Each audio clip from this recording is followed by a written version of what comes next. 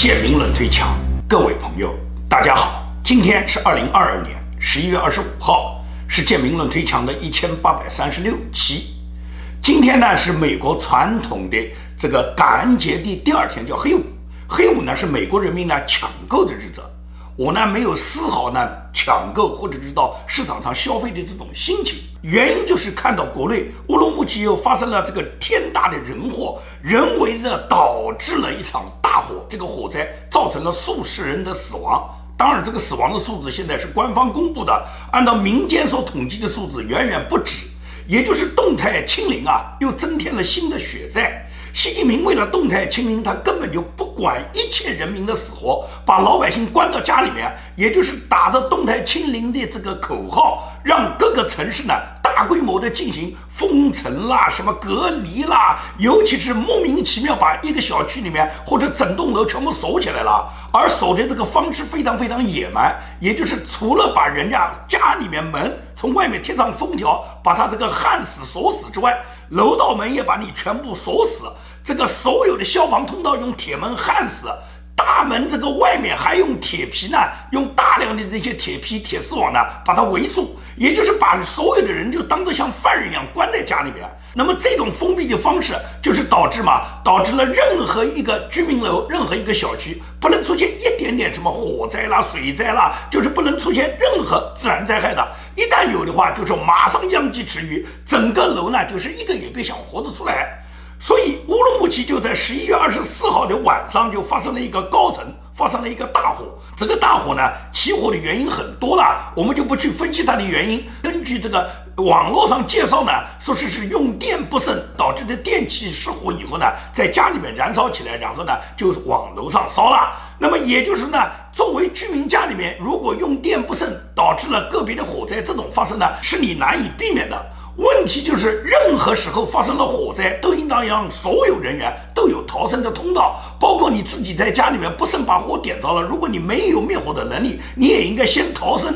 完了以后呢，打电话让消防车由消防部门来紧急灭火。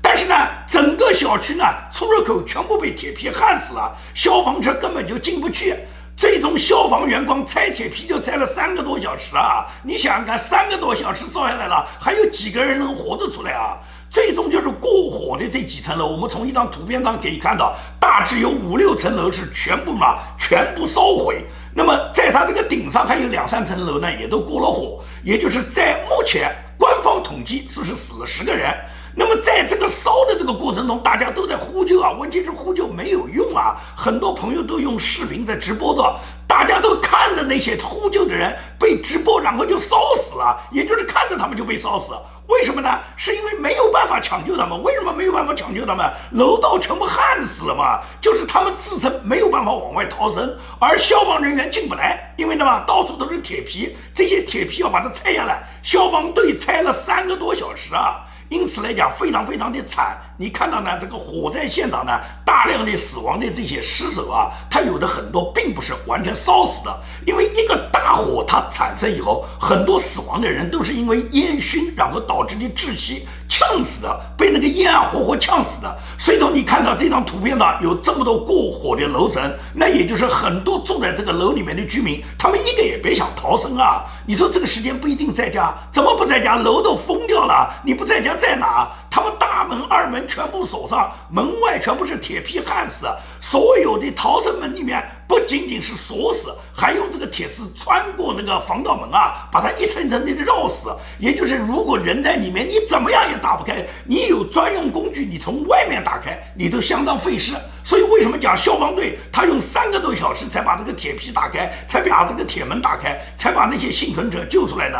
那么这个是谁导致的呢？是谁敢有这么大的权利，把整个一个楼把它完全封死呢？把消防通道堵死呢？把大门焊死呢？把大门外面全部用铁皮把它挡死呢？这不都是当地基层政府他们野蛮操作吗？也就是事发的时候，通过很多求救信息，我们都可以看到，事发很多被困人员不断的发出各种求救信息啊。但是政府的管理人员在干什么？他们用大喇叭对人家这个楼道里面喊话，用微信上面给他们去发各种微信通知，要求所有人你们就待在家里面，不要出来，不要出声，你们用毛巾捂住口鼻。但人家住户讲连呼吸都没办法呼吸了，怎么捂住口鼻啊？再说不出来不出来，不就在家里面活活等着被烧死吗？因为火眼看要烧到自己家里面来了嘛。但是小区的单元门被锁。有一部分人逃生，逃到下一个楼道、下一个单元时候，看到那个单元门锁了，人根本就出不去啊！加上很多铁丝把防盗门全部都绕死了，而且是从外面绕死，你从里面的人你怎么能打开？你怎么逃生呢？按照国家的消防法规定，封闭消防通道是严重违法，导致死亡是严重犯罪。你如果你自己在外面想开个饭店啦，开个酒吧啦，你搞个卡拉 OK 啦，我告诉你讲，你装修时候你有任何一个消防通道不合格，你都不会得到消防的批准，你都开不了业。你的所有消防通道、消防路口全部消防检查者，要完全无死角，要完全通畅，要任何一个门都可以随意的可以打开，让人们如果一旦发生大火，大家可以随时都逃生的。也就是说，你自己如果想开个店。消防部门，你求爹爹告奶奶，你很多消防你是通过不了的，他们严格的很呐。他们所谓的严格，就是你送钱哇，钱送到位了以后，你即使消防不合格，也给你准予开业的哇。但是呢，他们底层政府他们在管理老百姓的时候，他们就丝毫不考虑国家的消防通道留的是干什么的，他们可以把所有的消防通道。全部堵死，把所有的消防门都把它锁死，把你家里面的出入门的大门把你焊死，把小区单元门、大铁门也给你焊死，外面再给你加上铁皮，可以讲你插翅难逃。别说是你在里面，就是外面人想打开这些门，想冲破这些铁皮都进不去，消防队三个小时进不去，不就是铁力吗？所以说，谁给这些基层政府这种权利呢？实际上，这就是习近平给他们的权利。习近平搞动态清零，他就是对各级政府下达了：你必须给我封城，你必须给我封闭小区，你必须把老百姓给我锁死在家里面。而中共的这些基层政府，基本上现在可以讲，中国无论是城市还是乡村，这种底层的基层政府啊，基本上都是被当地的流氓、恶霸和黑社会所把持。这些人都是共产党人啊，党支部书记就是当地最大的黑老大，就是当地最大的恶霸。这些人都被共产党培养成为嘛基层干部，让他们来管理基层。这些人就用黑社会、用流氓的手法，也就是共产党最喜欢用啊，用底层互害，用基层违法，就是纵容基层违法。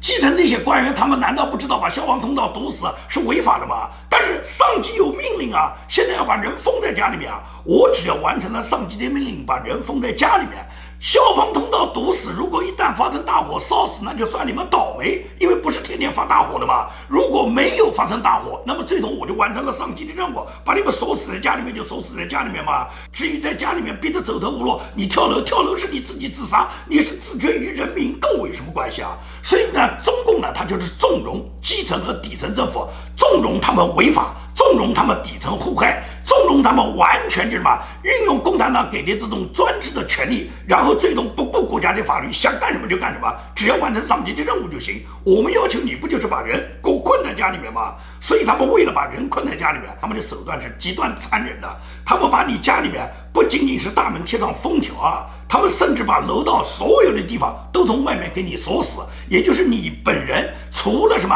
他社区给你送点菜的时候。可以把人派到你家门口给你拿点菜，拆下来你根本就走不出楼道，走不出你的单元大门，更别说你出小区了。在这种情况下，他们是达到了封闭你的目的，但是这个小区是绝对不能出现任何天灾人祸的。如果有火灾，有大水漫下来，最终就是什么？最终你在家里面就等着死。乌鲁木齐的大火就是最典型这样的案例。正是因为这个小区把所有人都困在家里面。任何人都被你们被铁皮、铁丝网、铁门锁住，出不来，消防车进不来。最后他们解释什么？说是一部分住户把汽车停在这个公共通道上，消防车开不进来。这些车为什么会停在公共通道上？因为这些车很多车是电动车，他们因为长时间被困在家里面，都是封城嘛，动态清零嘛，被困在家里面怎么去加电啊？怎么去给自己的车充电啊？那么这个车它根本不充电情况下，它就挪动不了嘛。那么挪动不了，最终就是交通要道已经有所堵塞。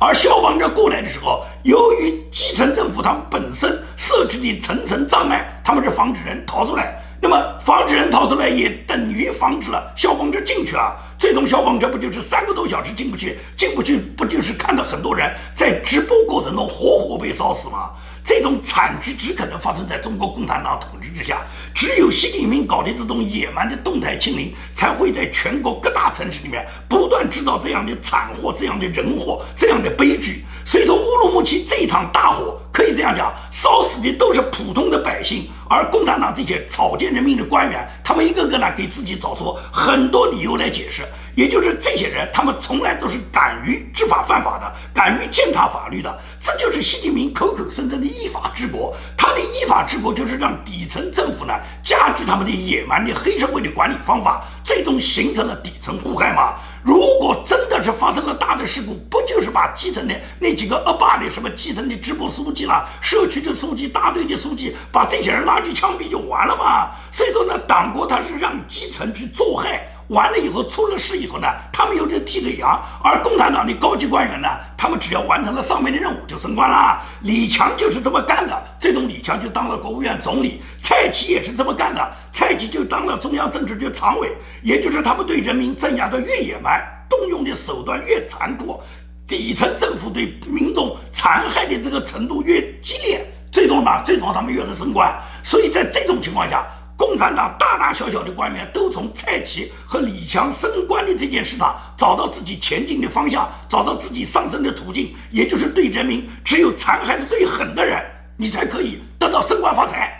在现场，因为被燃烧了很长时间，大量被困的这些住户都不断的对外呼救，很多人通过手机发布各种朋友圈啊，发布各种求救信息啊，打当地的消防的电话，打当地市政府的电话。但是呢，消防车呢，它就几个小时都不能开展有效救援，最后被中共把这个原因解释成什么？解释成说是我们要统一口径，是因为你们大量用户是你们的责任，是你们的电动车导致了道路受阻，然后我们没有办法把消防车开进去嘛。而这些电动车即使是受阻，电动车也是因为很多天没有充电，由于长期缺乏电力，很多车挪动不了，导致的堵路。而这一车为什么挪动不了呢？是因为这个小区已经被封闭时间很长了，整个全楼的居民被封闭在家里面，人家都不准下楼，人家到哪里去挪动他的电动车？还有一部分已经被他们隔离到方舱里面去了，也就是人是被你们强行拖走的，他的车子都可能是没来得及熄火就被你拽走了，他怎么去挪动车的？所以说呢，消防车进不来。共产党把它解释是你们住户的电动车挡的路，实际上是他们设置了各种路障，他们设置了各种铁皮、铁丝网，他们自己的这个野蛮的动态清零政策，导致了小区最终发生了火灾以后，消防车根本没有办法救援。而这种封闭小区、封闭整个单元楼的现象，大铁门用电焊机焊死的这种做法，又不是你乌鲁木齐一家。全国几乎所有封城的城市，几乎所有隔离的酒店，他们都是这么去干的。有一个现在居住在海外的读者，他是看到了乌鲁木齐火灾的这个评论，他在这个评论新闻下面，他发布了他自己的评论。他说他上次回国被隔离住进酒店，整个酒店所有的通道都是堵死的，所有的消防通道都是锁起来的，窗户全部是锁死，都是打不开的。他说当时这个酒店里面住了五百多人，他是非常非常担忧的。一旦如果发生火灾，这五百多个人一个人也跑不掉，没有一个人能生还，因为所有的窗户是封闭的，所有的楼道是锁死的，所有的消防通道都是堵死的，电梯门是根本轮不到你打开的，只有外面的人，他们有权利开启这个电梯，刷卡才可以进入。里面任何人，你在这个里面就等着死，如果大火来，你就等着烧死。这还是星级宾馆。那么其他的，你说这些居民小区，尤其是大城市里面那种老小区、老的居民小区，它根本本身就是消防设施就很差的，楼道里面就非常拥挤的。这种老小区，你如果把单元门、大铁门一焊，几乎这个所有里面的人就别想出来。加上如果是高层的话，那高层你除了跳楼，你没别的办法。有可能你窗户如果被封死了，你楼也跳不了啊。所以在整个乌鲁木齐这次现场，我们最多关注到的都是什么？都是当地野蛮的清零政策导致的封闭，导致这些小区的堵塞消防通道，然后在大火发生的时候，让大家没有逃生的机会嘛。而现场这么大事出了以后，共产党在干什么呢？政府在干什么呢？除了编造谎言。统一要求大家一律把这个火灾的原因把它说成是这个电动车堵路，所以消防车出不来。其次什么？其次马上乌鲁木齐有关的部门呢，马上就出现了这种屏蔽车停在这个小区火灾现场的附近，也就是让很多居民楼的那些幸存人员啊，你们所发布的各种朋友圈内容，你们发不出去，发出来的内容只有你自己可以看到。微信上早就有这个功能啊，也就是你发一个朋友圈，你沾沾自喜，你认为我这个朋友圈发了，大家都看到了，其实没有一个人能看到，就是你自己看到。微博也是这样，你发的微博就你自己一个人能看到，你认为我微博发出去了，你点击看，这微博还在，但是呢，就没有一个点赞，也没有一个评论，这个微博实际上只有你一个人看得到，这就是共产党专门干的这个在互联网上做的这种作恶的手段。马化腾这个家伙不讲吗？拿去枪毙十次都应该。所以说呢，在现场很多人他没有办法把自己这些真相传播出去，当然有大胆的敢于揭露真相的人，其中就有一个苏姓女子，她揭露了真相，在她自己的微信群里面，她就发布了该火灾现场的死亡人数。那么这个消息呢是被传出来了，传出来以后，然后这个姓苏的这个女的呢就被乌鲁木齐的公安部门立马呢就找到她，把她拘留了，以她发布不实死亡人数为理由，然后拘留了十天。也就是所有共产党，他这时候想的不是怎么去抢救人民的生命财产，不是去总结这个严重的火灾是什么样的人祸给人民带来的损失，而是马上去抓捕那些所谓什么所谓记录真相的人，马上去屏蔽现场所有能够把现场真实情况传到外面的这些普通民众。也就是共产党马上采取就是防民之口，胜于防川啊。防住老百姓揭露真相，然后对所有敢于揭露真相的人就抓捕拘留，这就是党国在现场马上干的事嘛。那么，除了在现场对当地的居民、对当地所谓的幸存者对他们封闭，要求他们不准去谈论整个火灾的现象，然后把所有的责任赖到那个消防通道上面有电动车阻挡之上。其次什么？其次在全国的舆论上就转移风向嘛。你看，全国几乎所有的媒体。今天都在报道，说是吴亦凡判了十三年，好像这把大火就是吴亦凡点着的一样。你看看所有的新闻报道，新华社也好，人民日报也好，半月谈也好，中央政法委的什么长安见也好，北京青年报也好，写的全部都是吴亦凡被判了十三年，而且还热烈的讨论附加刑是驱逐出境。那么这个驱逐出境有没有可能是现在就驱逐出境，这样就可以不坐牢了吗？还是说要把他十三年刑满以后，做完刑以后，然后再驱逐出境呢？并且很多报纸上不断地找出各种例子来讨论啊，就是讨论当年孟晚舟被抓以后，我们不是也抓了两个加拿大人吗？就是斯巴夫和康明凯吗？斯巴夫、康明凯当时判了十几年，不也是最终就可以提前的驱逐出境嘛？那吴亦凡现在虽然是在中国广州出生的，但是他早就入籍加拿大了，他是加拿大公民啊。那么作为外国公民有驱逐出境这么一条，那么很可能就是不一定把刑付完了，一种是直接刑都不用付，现在就驱逐出境；还有一个是付刑付的一半，我们就驱逐出境。他们马上就在讨论吴亦凡这件事，就是让你感觉到乌鲁木齐这把大火就是吴亦凡点的，现在我们就要找吴亦凡算账。也就是马上就带动风向，让任何人都淡化乌鲁木齐大火的事，淡化当地政府野蛮实行动态清零给当地民众带来的生命财产的损失，淡化乌鲁木齐这把大火它这个人祸导致的动态清零给人民增添的新的一笔血债嘛。每次中共发生各种天灾人祸之后，尤其发生大的那种灾难，什么矿难啦、铁路出轨啦、郑州大水啦、武汉疫情啦，包括这次新疆大火了。每次发生这些灾难之后，总有人站出来为共产党洗地，总有人在现场找出各种理由，认为当地居民是你们的不当，是你们的这些电动车你们长期不充电，你们的车阻挡了消防通道，是你们当时没有配合当地政府进行紧急自救。叫你们待在家里面，别喊别叫。你们不捂住口鼻，你们去喊叫，那烟吸到嘴巴里面，当然会被呛死了。所以说呢，有很多人都为党国洗地，这些人呢，当然是很可耻的五毛。还有都是共产党御用的各种打手，他们去扰乱是非，然后他们去带动风向的。其实无论是党国的高官，还是那些所谓的五毛为共产党洗地的五毛，你们和这些所有被烧死的人，大家都是住在同一个楼上。你们和所有中国十四亿老百姓被共产党统治的人，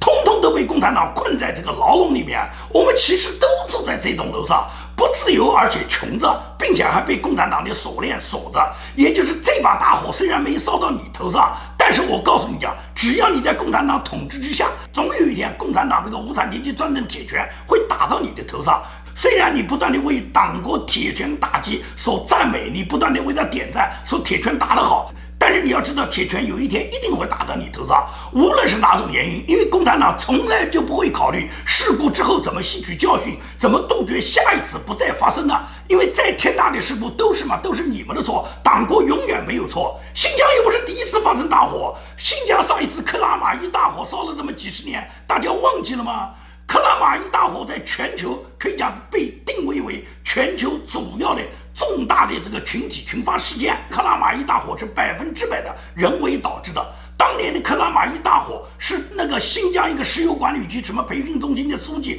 邝丽高喊了一声“让领导先走”，他这个“让领导先走”这句话喊了几十年，话音一直没有落啊。但是共产党去总结过教训吗？那次克拉玛依大火向领导做汇报演出的大中小学的学生，多少人被烧死啊？现场死难者三百多人里面全部是中小学生啊！撑下来死的都是一些家长，是一些老师，官员们全部跑掉了，没有一个官员被烧死啊！克拉玛依本地的官员全部生还，三个市局的领导，还有十七个教委委员全部跑掉，一个也没有死啊！喊着孩子们都不要动，让领导先走的是新疆石油管理局教育培训中心的党委副书记，叫邝丽。这个女人她自己跑到卫生间，把卫生间门反锁，不让别的学生也跑进卫生间，可以逃命。最终她本人得到了逃生。虽然党国后来判了他四年，但是四年之后他很得意啊，出狱以后很快党国又给他安排到保险公司当经理，而且很快又重新把他又入了党。也就是呢，党国的这些官员在关键时候都是让你们人民先去死，你们要让领导先走，让领导先活着。领导活着以后，领导也不担什么责任，即使是让他担了一点小责，但是呢，他回来以后，党国仍然给他一个保险公司经理做做，仍然能可以给他重新入党。也就是说，克拉玛依大火的教训，你觉得新疆吸取了吗？当时对克拉玛依大火，他事故调查以后给出的第一条这个事故原因就是安全疏散门全部上锁关闭，全部加了铁栅栏，全部加了推拉门，严重违反了当时中华人民共和国消防条例的规定，也就是人员集中的公共场所必须保持所有安全出口、疏散通道的畅通无阻。当时你把所有的这些疏散通道全部堵死，全部装了这个防盗门，你究竟是准备防止外面人跑进来，还是防止里面人到关键时候不能逃生啊？而今天这个乌鲁木齐的大火，它所有的这个事故原因跟上一次克拉玛依大火有区别吗？不都是安全通道被堵死，消防通道被你们人为的堵死以后，让人们在发生火灾的时候没有办法逃生吗？也就是这一次火灾发生之后，起火的那家第一家人，他就开始在阳台上呼救，就开始把起火的这个信息向整个小区、向社会发布了。大家都看到了，在这个时候，如果消防通道是顺畅的，那所有人都跑出来了，包括这个起火的这家人，全部也都跑掉了。但是呢，没有办法，出不来，大门给锁死了，铁丝把你们家里面绕死了。他呼救是希望有人到他家里面能打开他们家的铁丝，能把他放出来。这时候，每家每户听到呼救的都希望自己能逃生嘛，但是没有一个人逃得掉，因为什么？你们家里面的大门外面全部被锁死嘛，你根本就出不来嘛。你想救别人也救不了，你连救自己都救不了，你能救谁呢？所以呢，最终就是导致了这么大的一个火灾事故，然后就看着它烧。一直这么一直往上烧了五六层以后，烧了三个多小时以后，把这所有人都烧死以后，最终什么？最终这个火被消防人员扑灭了，也就是等了三个多小时啊。三个多小时，多少条人命没有了？为什么消防通道到关键时候打不开呢？那个锁消防通道那些人在哪里呢？他们全部跑的人影也没有了。他们当年把这个消防通道上锁，把它锁死，把它焊死之后，就从来没想过他们要把它打开的。也就是你们这些人死就死在里面吧，在共产党领导的国家哪天不死人啊？所以习近平野蛮的动态清零，就是把中国人民不断的什么，不断的人为制造他们的死难，死的人越多，当地的官员你立的功。越大，也就是对习近平的忠诚越大。忠诚不绝对，就是绝对不忠诚。你要表示你忠诚，你就要在当地残害百姓。你只有把百姓逼得走投无路、家破人亡，让他们死翘翘，习近平才会给你升官发财。这就是共产党的逆淘汰。党国领导下，现在中国人民就是这种水深火热。所以你从小读共产党的课本，动不动说什么美帝国主义水深火热，台湾人民水深火热，国民党统治水深火热。我告诉你啊，你从来没见过哪个地方有水深火热，而你今天就生活在水深火热。到郑州发那个大水，所有人困在车厢之后，你还没有体会到水深。到这次乌鲁木齐大火之后，那个火在你旁边熊熊燃烧，你打不开消防门之后，你还体现不到火热。我真不知道中文里面定义水深火热，用什么实际案例来体现水深火热？这不是最典型、最活生生的共产党统治下的水深火热最典型的案例吗？好，今天的节目我就跟大家做到这里，谢谢大家。